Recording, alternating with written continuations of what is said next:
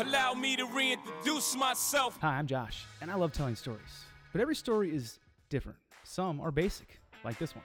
Hello and welcome to Slingshotting Santa. Ooh. Put a beating on Santa Claus with a slingshot. First one to 500 wins. Ready for this walk off? Pretty cut and dry there. Ball game. Other stories aren't quite so simple to tell. really?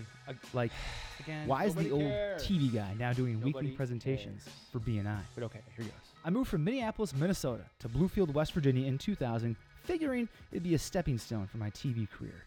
But, well, here we are, more than 20 years later. In 2008, I turned a lifelong passion into a side hustle when I became a certified personal trainer for fun. Only it took off. And before you know it, I was burning the candle at both ends. In 2016, I bought some equipment and rented out a small space in Kanawha City to train people in. And two years later, in 2018, I bought a building just 110 steps away from my real job at the TV station. I remodeled the building, built a gym downstairs, and a sweet loft apartment upstairs. Then came COVID, then went the TV job, then came a whole lot of hair, and along with that, a bunch of creativity I never knew that I had. So I've spent the last couple of years exploring that creativity, making crazy videos while brainstorming ways that I can help add value to businesses of all kinds.